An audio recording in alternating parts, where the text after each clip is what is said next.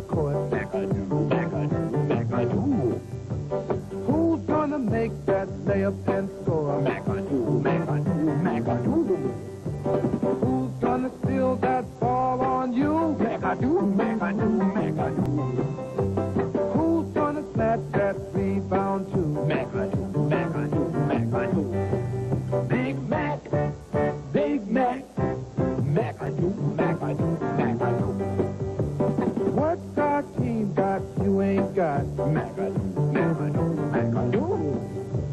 Who's the guy that's gonna block that shot?